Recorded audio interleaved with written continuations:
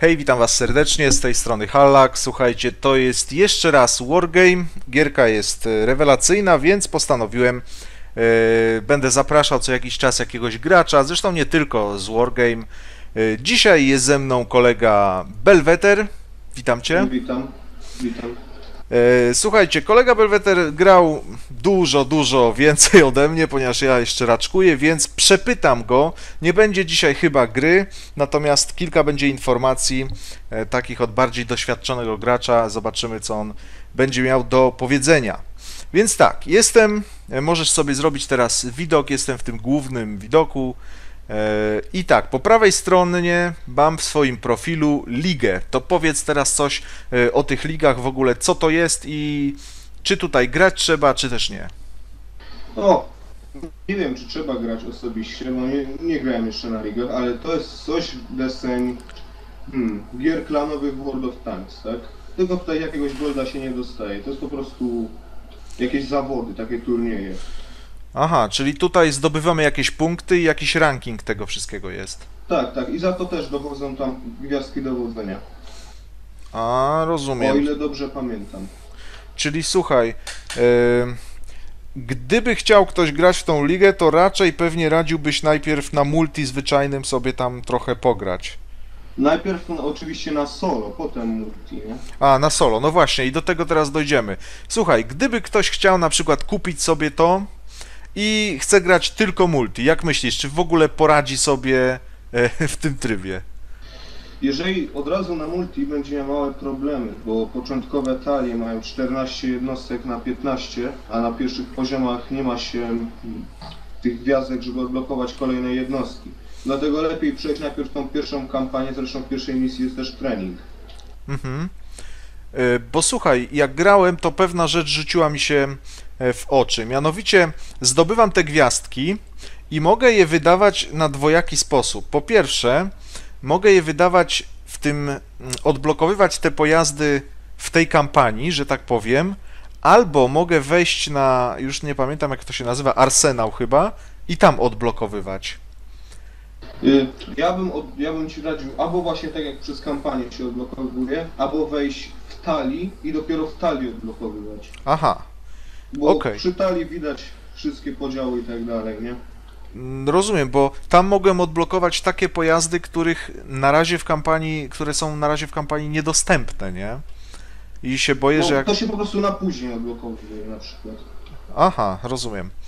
E, No, czyli lepiej na przykład na początku zagrać sobie tą zwykłą kampanię i po kolei tam sobie, Przynajmniej tą pierwszą, całą tą niemiecką przejść. Tą Ona jest niemiecką. no właśnie, no tam y, można ją szybko przejść, można ją wolno przejść, ale do tego to jeszcze dojdziemy. I teraz tak, czyli interesuje nas najpierw zanim zaczniemy grać multi, interesuje nas przycisk talia, czy tak? No tak, talię. Czyli dobra, klikam. Podstawowo są wybrane dwie. Ok, klikam talię i mam tak. Talia startowa NATO i talia startowa układu. No to to chyba wszyscy wiedzą co to jest. A układu to jest y, tam Rosjan, tak? No, wi- wiadomo. Jest zimna wojna, czyli mamy typowo, typowy układ wschód kontra zachód. Prawda? I teraz tak. Y, Żeby grać w multi, to rozumiem, że najpierw tutaj trzeba skonfigurować sobie jakiś zestaw y, sił, tak? Osobiście, powiem tak, nie trzeba konfigurować, ale będzie się miało problemy małe. Bo ponieważ tu jest 14 jednostek, a to nie wystarczy na niektórych poziomach jak się gra z niektórymi. Mhm. Więc trzeba tam pododawać tych pojazdów, czy helikopterów, Rozumiem. co tam jest. Czyli tak, jeżeli talia startowa kliknę i teraz tak. się ikonki po prawej na dole. Stwórz, pokaż, kopiuj Okej, aktywuj. czyli robię pokaż i zobaczymy co tu jest.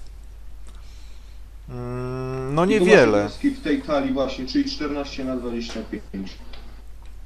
dokładnie, 14 na 25, ale mnóstwo rzeczy tu jest nieodblokowanych, w ogóle nie ma leopardów dwójek. E, U mnie Tej, przynajmniej. tej w ogóle chyba nawet nie można edytować talii, zauważyłem teraz. Bo nie Aha. ma przycisku dodaj.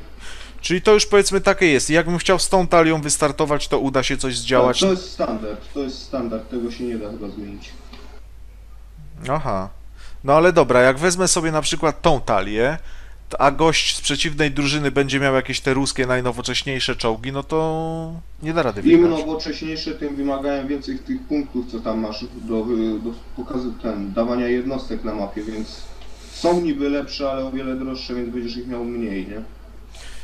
A, rozumiem. Bo tu jest właśnie jeszcze, musimy powiedzieć sobie o systemie obrażeń. Jest pewna rzecz, która mi się tutaj nie podoba, mianowicie zauważyłem, że tu jest taki system, że nawet bardzo słaby czołg, jak tam non-stop będzie napieprzał w jakiś super, to i tak go rozwali.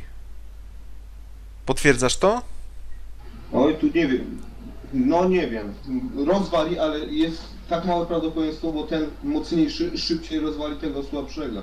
Bo ten mocniejszy nie będzie aż tak przebijany, więc nie będzie tracił tych na moralach tej załogi, tak? Więc Aha. No dobra, czyli że jeżeli ktoś chciałby grać tą talią jest podstawową, możliwość, że może rozwalić. Je, może rozwalić. No właśnie, bo ja zauważyłem.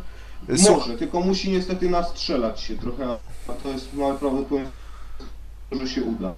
No właśnie, bo ja słuchaj, wziąłem e, dzisiaj na przykład e, kobry z rakietami takimi zwykłymi, to nie są przeciwpancerne, i jak zacząłem napieprzać w czołgi, to po prostu bardzo wolno, ale w końcu tam udało się je rozwalić. To nie za bardzo mi się To jest podoba. właśnie urok rakiet w helikopterach. One albo niszczą od razu, albo po jakimś czasie. Mhm. E, Czyli słuchaj, jeżeli ktoś chciałby grać taką podstawową. Mhm. Jeżeli ktoś chciałby grać taką podstawową talią, to po prostu e, kupą musi lecieć. Tamci będą mieli być może nowocześniejszą armię, ale mniejszą, a my musimy na ilość iść w takim wypadku.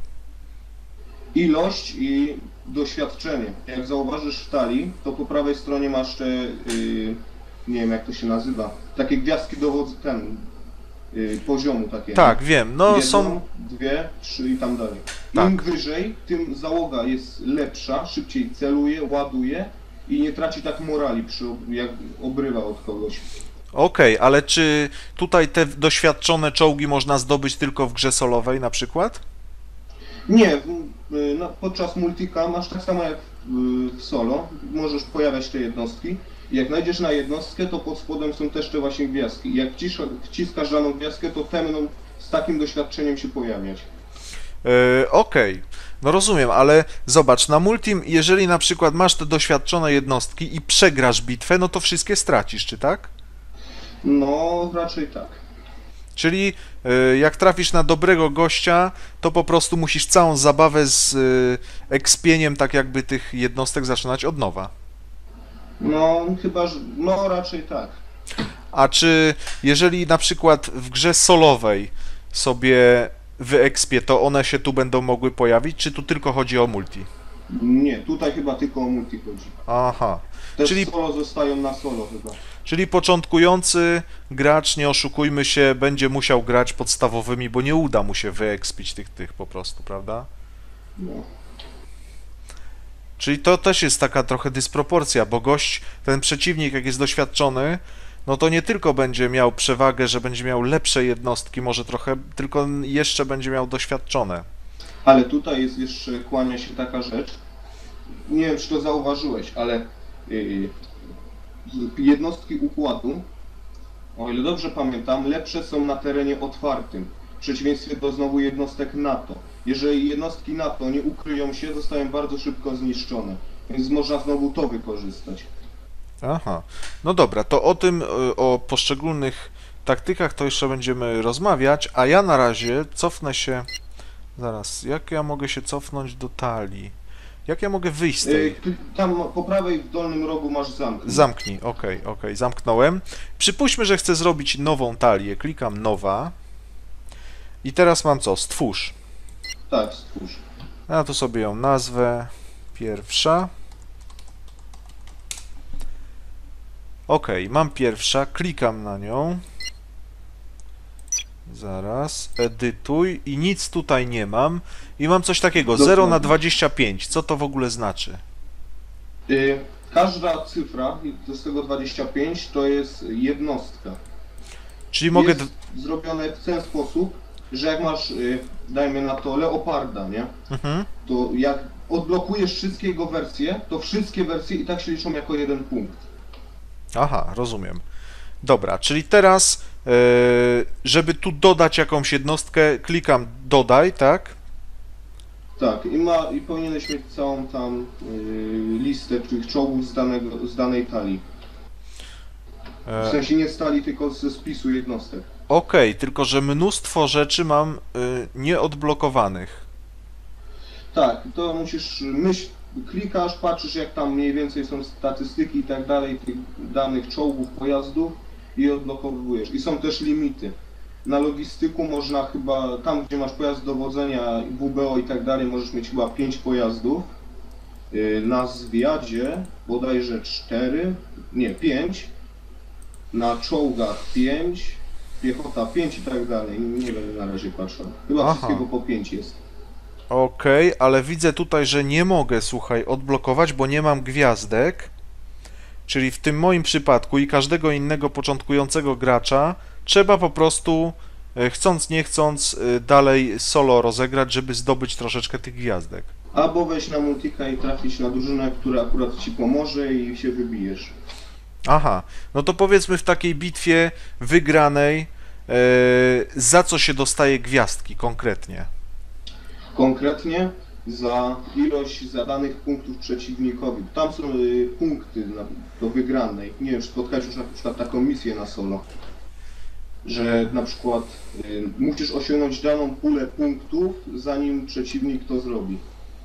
Aha, to nie, jeszcze tego nie miałem, bo ja dopiero tam jestem w trzeciej albo czwartej misji, tej pierwszej tej, czyli ym, okej, można tam Im zdobyć. mo- więcej zadajesz punktów przeciwnikowi, tym będziesz miał chyba więcej gwiazdek. Mhm, rozumiem. Bo gwiazdki też dochodzą za każde poziomy. Masz tam właśnie po prawej też poziom. No widzę, że tutaj poziom to ja mam pierwszy oczywiście. Mam pu- punkty doświadczenia 0, czyli zdobywa się punkty doświadczenia w multiku, tak? Tak, tylko w multiku. Chyba, nie wiem czy przez ligę. Przez ligę chyba tylko do ligi się liczy. Okej, i jak mi, jak mi się zrobi drugi poziom, to yy, co to oznacza w ogóle? Y, Drugi poziom to dostajesz ileś tam gwiazdek, ci powiem. Aha, wiem, do... Czyli Za bez, każdy poziom gwiazdki do... Czyli za każdy poziom, czyli dostajesz tak jakby, gdyby ktoś chciał, to mógłby sobie pograć troszeczkę na solo, tych gwiazdek zdobyć i później na multiku za ten poziom sobie jeszcze tam zdobyć. Tak, na multiku gwiazdki wchodzą ino za poziomy. O ile dobrze wiem. Aha. No Chyba, że dobra. będzie wygrana runda i bardzo dobra, to chyba też dojdą wtedy. Okej, czyli to wiemy. Można sobie oczywiście te talie robić nie tylko NATO, y, ale można też państwami, czy też nie, czy też można wybrać... Ale w sensie... Aha, państwami w sensie na przykład tylko od Rosjan, tak? No. Tylko rosyjskie dajmy na to. Można, tylko nie polecam, tak? Lepiej trochę chyba pomieszać według mnie. Aha, czyli lepiej albo układ, albo NATO. Tak. No bo widziałem na przykład w tych kolejnych częściach, że tam y, budują często ludzie talie właśnie, no ale tam jest więcej jednostek, wiadomo. Tam jest y, W tutaj sensie tam mieszają na przykład z dwóch nacji, dajmy na to, bo tutaj masz tylko podzielone na wszystkie z z Związku Radzieckiego, czyli nie wiem co tam jest, wschodnie Niemcy, Rosja i tak dalej. I innych nie możesz dodać z państw zachodnich. Mhm, no tak, ale tam widziałem właśnie w tych kolejnych wersjach, tam gdzie są już samoloty, na przykład, to ludzie montowali te talie, nawet na YouTube jakieś tam są filmy, yy, kol, kolejnymi yy, państwami, czyli na przykład nawet widziałem tam, że polską talię ktoś montował, no tam tragiczne były te siły, ale udało mu się coś tam zmontować i w ten sposób grali. No ale tutaj mamy mniej państw i przede wszystkim mniej pojazdów, bo z tego co wyczytałem, to tu jest około chyba 350, a tam jest 700 chyba w tym Tu Erland. jest o połowę mniej niż w części drugiej, a w części trzeciej jest jeszcze więcej. Tak, no w części trzeciej chyba 1400 jednostek czy coś, no ale tam... Chyba co każdą, z każdej wersji razy dwa chyba jest Mhm. jednostek. Czyli naprawdę fantastyczna sprawa, jak ktoś się tam w ogóle interesuje. Co jeszcze możemy powiedzieć o multi? O, jest dużo trybów. Na przykład jak ktoś nie chce grać na przykład NATO kontra Związek tam Radziecki, No, to może ustawić opcję, że jest NATO kontra NATO, dajmy na to. Mm, mhm. Dwie takie same talie naprzeciwko siebie. To może zrobimy tak. E, jeszcze z teorii, co tu mogę Ciebie zapytać? O, coś tu mam. Tylko, że tu jest hostuj grę e, wieloosobową. Właśnie, kliknąłem na multi. Jest tak, zagraj w grze rankingowej oraz hostuj grę wieloosobową. Rankingowa y, to jest właśnie ta liga. Aha, Tam jest trochę inaczej niż na multiku to normalnie wygląda na hostowaniu gry wieloosobowej, ponieważ na grze rankingowej do, dobierasz albo ze znajomych jedną osobę i nie ma przeciwnego teamu. Dobierasz jedną osobę i dajesz start. I potem automatycznie wyszukuje innej drużyny. a rozumiem. Tylko teraz słuchaj, tutaj ci goście, którzy założyli te gry, to jest możliwe, że jeden gość ma poziom 92? Y, Maksymalny poziom w tej grze to jest chyba setny. O Jezu, czyli to... Bo tu jest dwóch akurat. No wiadomo, że teraz wszyscy grają w te najlepsze, znaczy te nowsze Nie części. wszyscy, bo jest graczy 203, ale nie wszyscy grają też multi. Większość na single też siedzi. Aha, rzeczywiście, gracze online. Liczba działających sesji 22. Tu są dwie, ponieważ reszta pewnie jest rankingówkami. Aha. Dzisiejsza aktywność, najwięcej 206. Liczba rozegranych sesji. Te sesje to są bitwy te multi? Tak, to są no, bitwy multiplayer. A, aha, rozumiem. Czyli w tym momencie 22 bitwy się toczą, a ci tutaj czekają na jakiś tam tu 1 na 6, 1 na 8. Co to znaczy, że 3 na 3 jest na przykład albo 4 na 4? Tak, y, chyba że dodasz właśnie kom komputer jako przeciwnik, to wtedy robi się, dajmy na to 7 na 1. I wtedy ten jeden to jest komputer. Aha, no to właśnie, bo jeszcze chyba o tym nie powiedzieliśmy. Czyli jeżeli ktoś sobie multi chce na przykład potrenować, to nie musi szukać innego gościa, tylko może bota komputerowego ustawić i również e, będzie mógł z nim się naparzać, czy tak? Tak, ni- niestety bota, o ile dobrze wiem, nie można dodać do własnej drużyny. Okej, ale teraz mi powiedz, czy jeżeli z botem sobie pogram, to również te gwiazdki mi będą wpadały, czy nie? Nie, nie, z botami nie dostajesz gwiazdek. Aha, czyli tylko jako trening to jest bez żadnych innych korzyści. Tak. No to jeszcze tu muszę Cię zapytać, bo przy tych e, hostuj grę wieloosobową i tutaj dwóch gości jest, jest tak. 6000 punktów przy jednym, a 2000 punktów przy drugim. O co tu chodzi? O ile do, nie wiem, czy to jest y, ilość ta do zdobycia, żeby wygrać, czy ta punkta punkty startowe, za które możesz pojawić jednostki. Tego nie jestem pewien. Aha, czyli albo to, Ale albo to. raczej te punkty, z których jednostki można pojawiać. Czyli ten e, mniejszy gościu tutaj 2000. Im mniej punktów, tym trudniej się gra. Mhm. No ten 92 poziom. Bardzo mały limit, że dużo zrobisz jednostek. Okej, czyli ten 92 poziom aż 6000 punktów e, zrobił. No czyli tutaj. Czyli dużo wojska na start będzie miał i to bardzo dużo. Mhm. Chyba, że to się rozdzieli właśnie na... Jak jest właśnie punkty, na, maksymalna chyba jest 6000. Jak będzie na 8 graczy, to trzeba... To system automatycznie dzieli, nie że każdy ma po 6000, tylko to 6000 rozdziela między 4 osoby. Aha, rozumiem, rozumiem. No wiadomo, czym bardziej doświadczony gracz, tym y, poradzi sobie z większą ilością tych jednostek, nie? E, bo taki zwykły jak ja to tam nie zapanuje nad tymi, tymi. No ale dobra. To to mamy omówione. Czy jeszcze jest coś ciekawego, tak żeby powiedzieć offline, że tak powiem? Czy, O, w sensie kampanię, Mm, a tu są jakieś kampanie? bo chyba offline poza kamp... No to są właśnie... Aha, no o, bo potyczka jest na to jest solo. jako, s- to jest jako To solo. jest offline. Jest... Tak, i to jest i przeciwko SI i masz operacje, czyli kampanie te wszystkie. E, No bo tak, jak klikam solo, to ja tu mam. A, rzeczywiście. Oni tak te przyciski zrobili, że ja tu w ogóle tego wiesz, nie widzę, dopóki myszką na to nie najadę. Czyli jest graj przeciwko SI, a niżej są operacje, czyli takie to są te mini kampanie po 5 misji chyba każda, prawie że ma. Ja jestem w No, po 6, po 5. No. Jedna ma chyba 4. Oho. No i tu trochę tego jest. Ja już jestem w tej czwartej misji pierwszej kampanii, to tam y, trochę sobie odblokuję tego. E, Jest Mazurek Dąbrowskiego. To podobno. Bardzo trudna kampania, strasznie trudna. e, Bo y, tutaj jest co? Solidarność robi powstanie podobno w Polsce, tak? Tak, robi powstanie i mu trzeba je stłumić. Najgorsza jest pierwsza misja i ostatnia misja. Czyli y, kim sterujemy tutaj? Rosjanami czy Polakami? Rosjanami przeciwko Polakom. O I, kurczę. ale jest taki haczyk, bo też część Polaków jest po stronie Związku Radzieckiego. Aha, no tak, no bo y, prawdopodobnie tak by było, nie? Gdyby rzeczywiście e, coś takiego się zdarzyło. No, czekam na to, bardzo ciekawa może być kampania, także y, Yy, ostrzegam cię już, bo ta pierwsza misja yy, jest na czas. Jak się O nie kurde. robisz, to już jest... nie Ja cierpię, powtarzałem chyba pięć razy. Słuchaj, nie cierpię misji na czas, bo ja w tą grę na razie tak gram, że sobie tam kurczę, oglądam te czołgi, sobie tam robię. Yy, Powiem ci tak, że ta pierwsza misja to chyba pe pewien podpunkt jest na czas. Musisz tam chyba jednostkami dotrzeć gdzieś i potem przetrzymać parę tam minut.